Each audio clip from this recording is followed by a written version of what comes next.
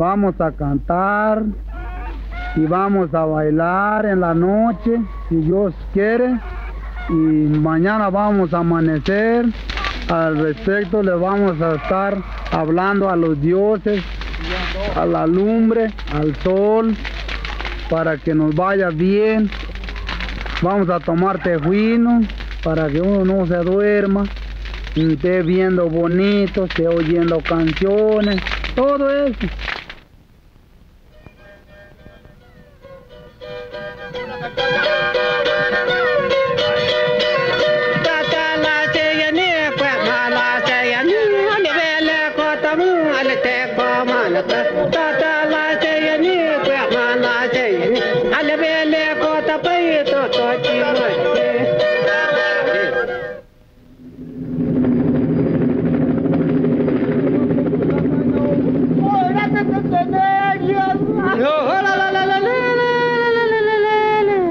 Cualquier visitante, el mundo huichol es un accidentado territorio de la Sierra Madre Occidental. Los miembros de este grupo dedicado a darle vida al ritual de sus ancestros viven la creencia de que cada relieve del terreno, cada montaña, cada río, no es solamente el macizo de roca o la corriente que le revelan sus ojos, sino la morada de un dios. Los caminos son huellas que conducen al encuentro con alguna manifestación de lo sagrado.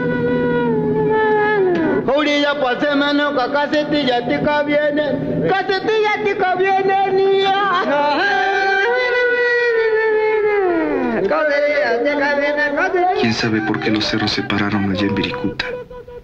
¿Quién sabe por qué los cerros hablan allá en Viricuta?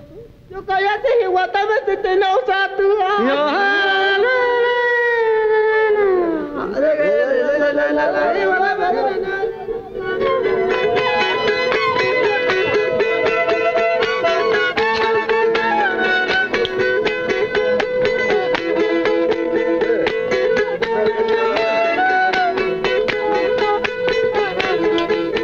pueblo huichol, considerado como enlace entre los grupos nómadas del suroeste de los Estados Unidos y los de habla náhuatl de Mesoamérica, siente que el mundo es un gran templo.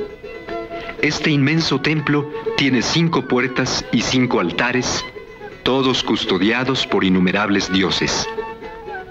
Todavía se le da el nombre de Rirriquitá al enorme espacio comprendido entre los altos de Jalisco y Viricuta, el lugar cercano a Real de 14, en el desierto de San Luis Potosí, donde crece el alimento principal de sus rituales.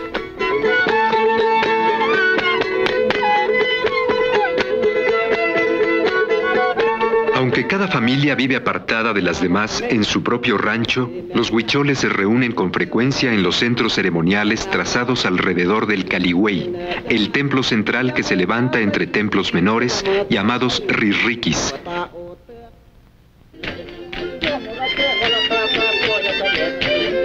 Es el mes de mayo en la sierra, tiempo de la seca. Los peregrinos de la gran fiesta del peyote están de nuevo entre los suyos. Han vuelto para invocar a las lluvias junto con los que han esperado su regreso. Pronto iniciarán las danzas y cantos de invocación. Pronto pediremos que la nube salga nuevamente de la tierra, que salga el templo de la nube, que del templo nazca el venado para convertirse en lluvia, en maíz que brota de la milpa.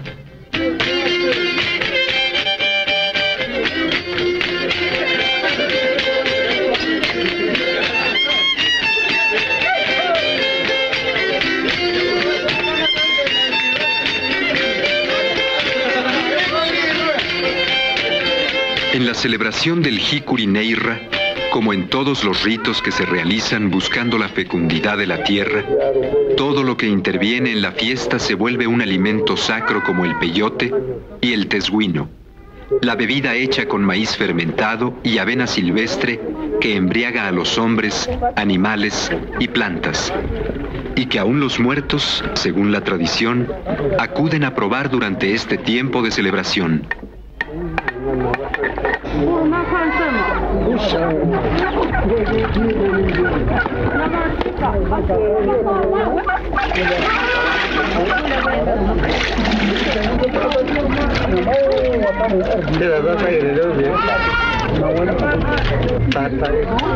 Nena, ano ito? Ito ka nang doon, kawan, ha? Chiwa, napunta po na yung pulot. Wanut po po, wata mama sira po kuhuyan eh. Ano, mas po, hindi ko na yung Es que dicen con ustedes, pelluteros, se pinta para hacer sus fiestas.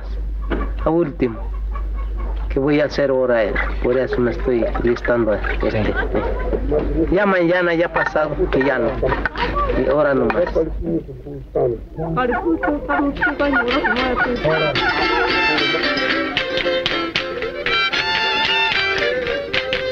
El huichol se llama a sí mismo Bisrárica, palabra que entre los pueblos vecinos significa cantador, vidente, profeta, curandero. Es por eso que se pinta con el color del sol, porque así fue mandado por Tatebarí, para que las generaciones del venado peyote aparezcan en los rostros de los peyoteros. Para eso muelen urra, la raíz traída desde Viricuta que guarda en su tinte el espíritu del abuelo fuego Tatebarí. Así recordarán cómo nació el hombre de la luz allá en el mar de San Blas.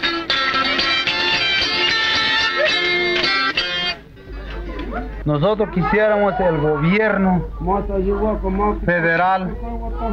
Que cómo nos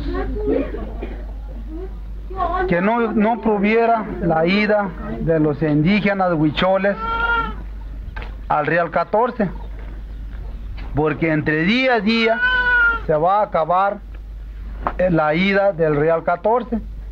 Los antepasados lo han hecho. Nosotros así vamos al Real 14. Por eso, nada más. Ustedes de la película para que vean, para que vea el presidente de la República, que no se imagine que nosotros estemos haciendo un negocio. No es eso. Es los costumbres de cada, de cada rancho o de cada pueblo, de los huicholes.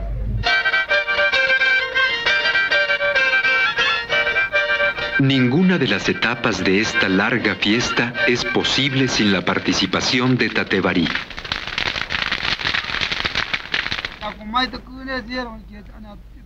Él los condujo hasta el lejano Real de 14, donde les mostró a los peregrinos la boca del pozo infinito, la casa de su nacimiento. Ahora el abuelo Fuego está presente otra vez para guiar a su pueblo hasta el amanecer. Por eso hay que usar los troncos traídos desde Viricuta, colocarlos hacia las cinco regiones del mundo. Así se podrá evitar que el sol se acerque demasiado a la tierra. No quemará la vegetación ni el maíz tierno. Caerán las lluvias. Ya que se ocultó el sol, te traemos con nosotros, abuelo Tatebarí. Ya que nos llevaste a Viricuta, vamos ahora a hacer la fiesta. Nos cuidarás esta noche. Reinaban las tinieblas cuando nuestra madre tierra, tratando de alzarse en la oscuridad, se movió en su morada subterránea. Algo apareció en una cueva viéndose como lumbre. Era Tatebarí, el abuelo fuego que ahora acomodamos sobre su almohada para que podamos hablar con Dios. Así dice el cantador pidiendo que empiece la danza, que pueda entender las palabras de los dioses, que otro sea cantador cuando no pueda entender lo que ellos dicen.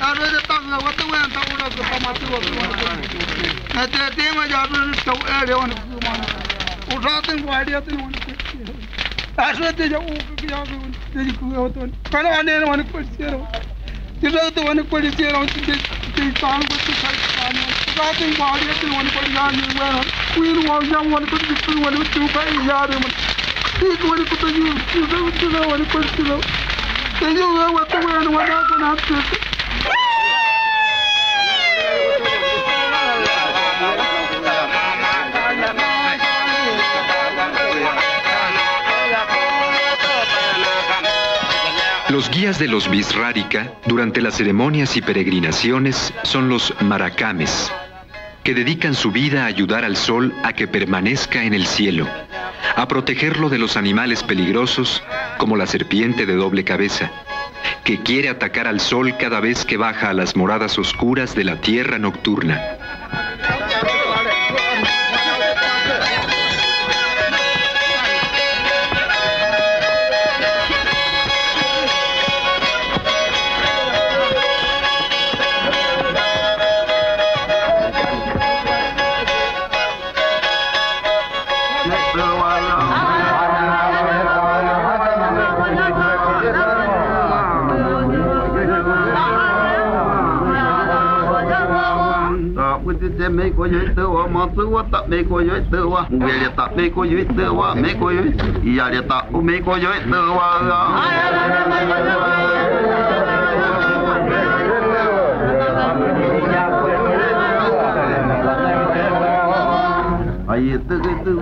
En el principio del tiempo, durante la primera cacería, el venado azul que los Bisrárika venían persiguiendo los llevó hasta Viricuta, donde crece la rosa de fuego, la flor luminosa que fue dada a los huicholes para que encontraran el secreto del maíz, la sabiduría del venado sagrado. Desde entonces el jicuri es su alimento, la planta que les revela los misterios del mundo, el peyote que nace donde alguna vez habitó el mar, que todavía nutre con sus sales subterráneas las visiones de los que comen esta flor sagrada.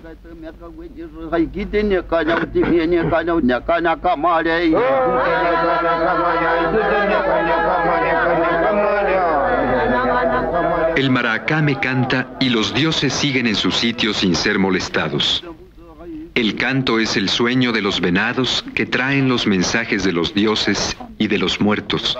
Es la crónica de la peregrinación a Viricuta.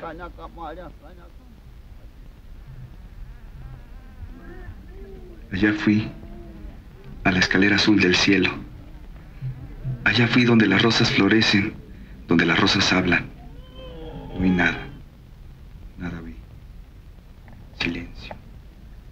Fui allá donde las rosas cantan, donde los dioses aparecen en la escalera azul del cielo. Pero no oí nada. Nada oí. Silencio solamente.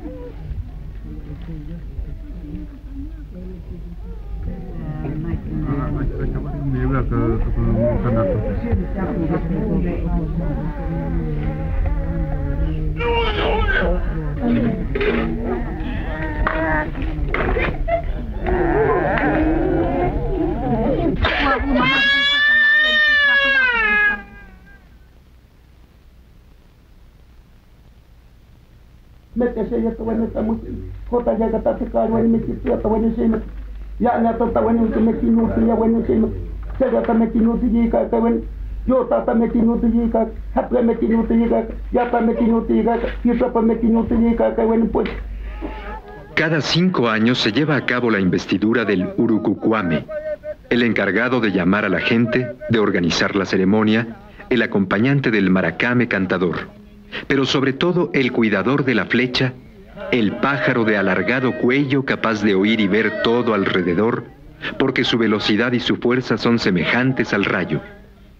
La fiesta del Hikuri Neira es, al mismo tiempo que un rito de la fertilidad, la representación del viaje a Viricuta y la imagen de la creación del mundo. Pero para que el mundo renazca en el amanecer y pueda persistir, los huicholes hacen toda su invocación hacia los cuatro puntos cardinales y hacia el centro del universo, que para ellos no es otro que el del Caligüey donde se encuentran realizando la fiesta. El maracame lleva en su canasto los objetos rituales, flechas votivas, plumas de águila y halcón que ayudan a elevar la oración, cuernos del venado que invocan, del venado en que a veces los mismos maracames se transforman.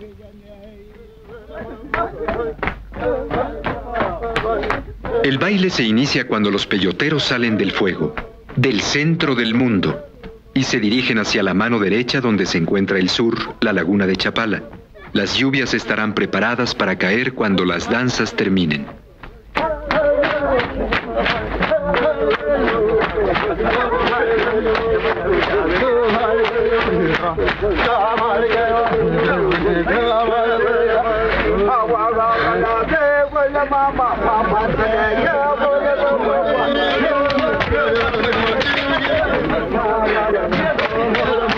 Van hacia la mano izquierda, hacia el norte, al que le dicen plateros. Nuevamente bailan aquí, como en el sur, cinco vueltas.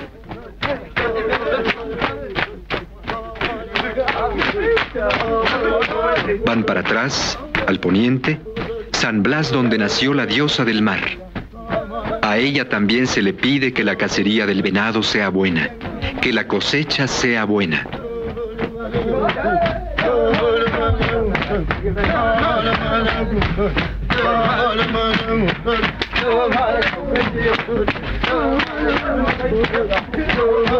Bailan hacia el rumbo de la villa, hacia donde está Veracruz, hacia donde sale el sol para el lado de Roma.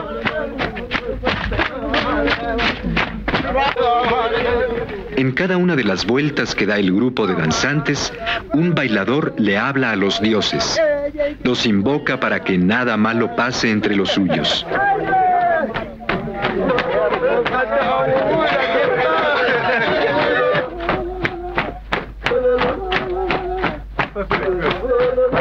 Después de sacralizar los cuatro puntos cardinales, los danzantes se reúnen nuevamente junto al fuego, el centro de su mundo, que es también el primero y el sexto punto de la danza. Desde ahí los dioses serán llamados nuevamente para que compartan el momento de la fiesta con el pueblo bisrárica.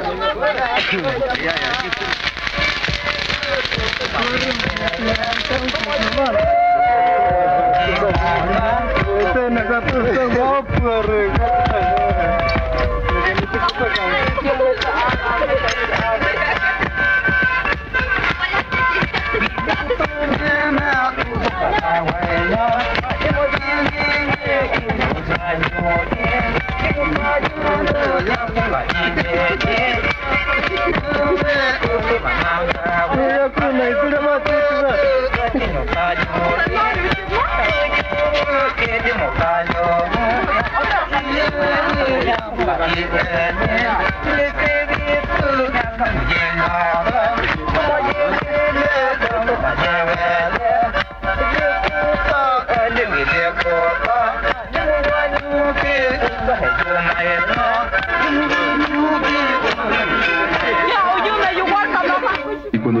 borrachera del jicuri todo se vuelve un juego. Los coches, los aviones, el mundo. Y empiezan las bromas. A los viejos se les dice niños. A los niños se les dice niños. A todos se les dice niños. Cabezados, zapotecos, cuerno de águila, a la de ardilla. El mundo se pone de cabeza.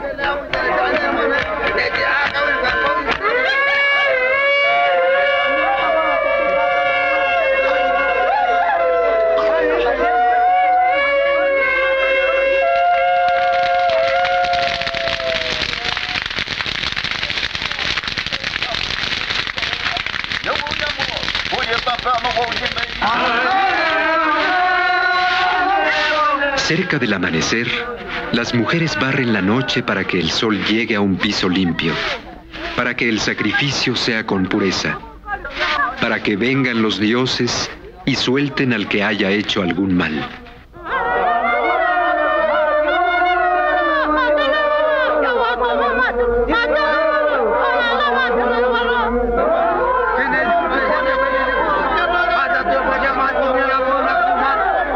La peregrinación, si algún peyotero llega impuro o no entrega las ofrendas necesarias, a ese que haya faltado al respeto de los dioses, se le aparecerá el demonio, y solamente lo abandonará cuando en el regreso, en la fiesta del Hikuri Neira, ofrezca un toro para el sacrificio.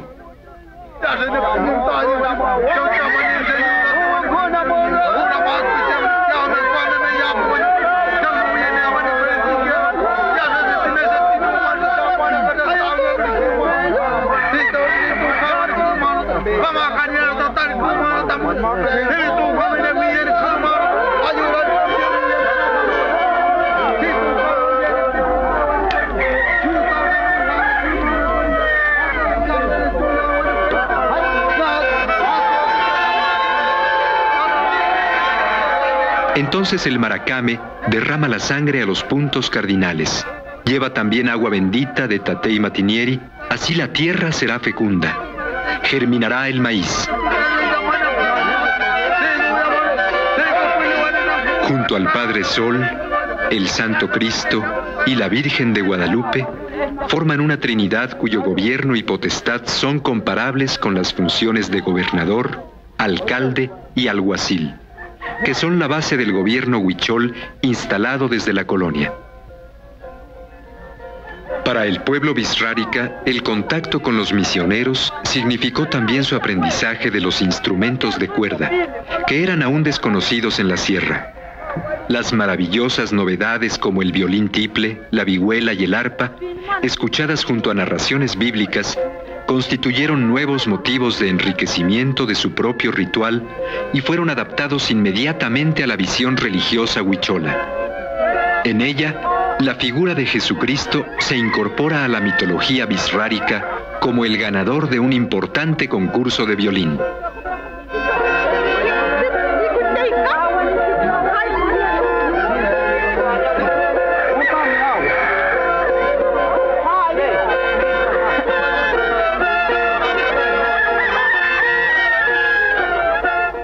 En un tiempo antiguo, cuando no había más luz que la luna, se reunieron los principales para encontrar la manera de darle más luz al mundo. Se adivinaba apenas el perfil mortal de los coyotes. El águila volaba sin sombra como perdida. Solo el abuelo fuego alentaba esperanza. Maracames y brujos pidieron a la señora luna que enviase a su único hijo cojo y tuerto. Al fin consintió. Vestido de ceremonia fue arrojado a un horno. Corrió por debajo de la tierra y al quinto día apareció resucitando por las cuevas de Leunar, allá donde se levantó el sol sobre las murallas del paraíso.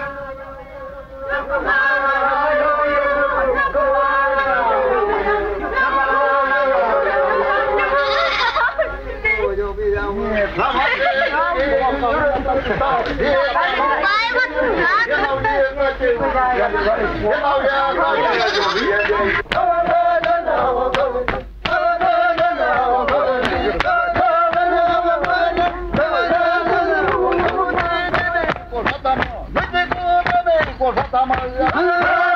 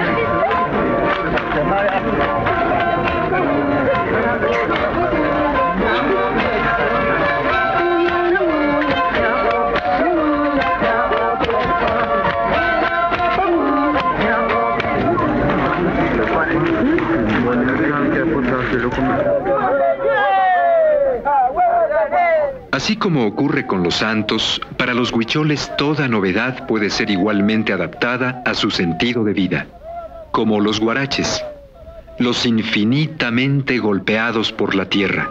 Cuando uno muere, le quitan sus guaraches de llanta y queman un pedazo de hule, pues si los lleva al inframundo, se vuelven pesados y redondos como llantas de camión y el difunto no puede caminar con ellos. هي نٿي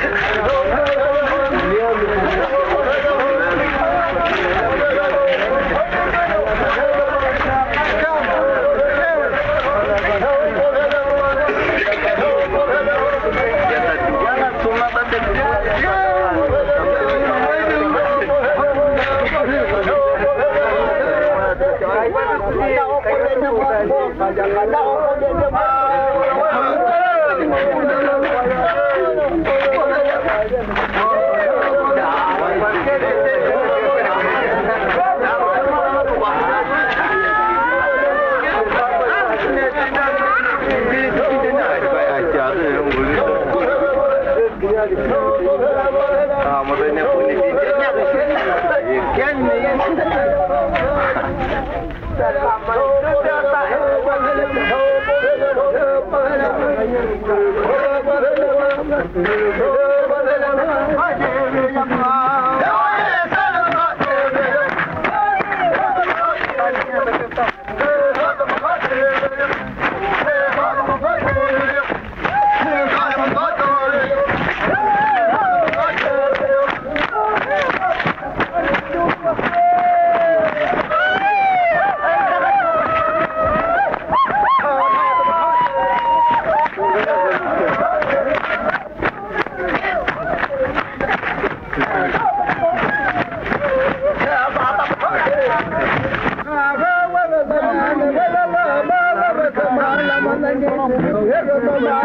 வந்து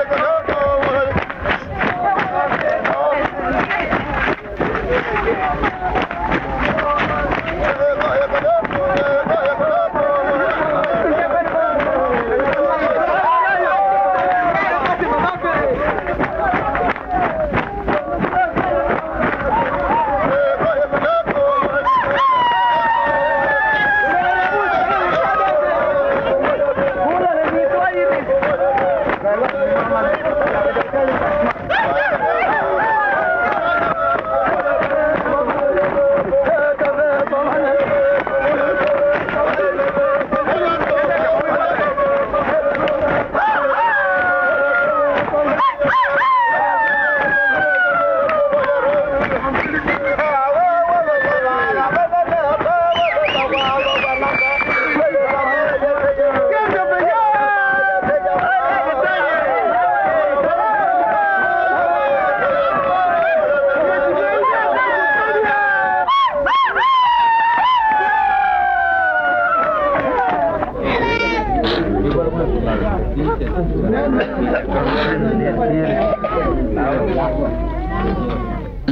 del Jicuri Neira, la celebración del maíz tostado, deja en los huicholes la intensidad de una revelación sagrada.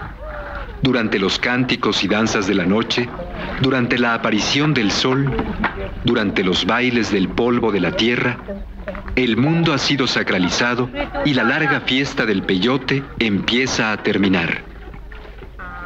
Nuevamente las próximas faenas agrícolas llevarán a los huicholes al tiempo profano, mientras los dioses se manifiestan en el maíz de cinco colores, en el venado azul, en la flor iluminada del desierto.